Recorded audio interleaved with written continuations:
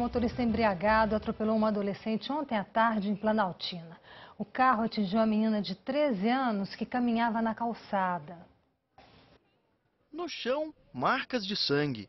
Na parede, o estrago da noção da força do impacto. Eu ouvi o barulho do carro, ouvi o grito dela imediatamente em seguida e desci em desespero. Foi neste cruzamento na Vila Buritis 2 que uma adolescente de 13 anos foi prensada por um carro. O motorista estava neste bar na quadra ao lado.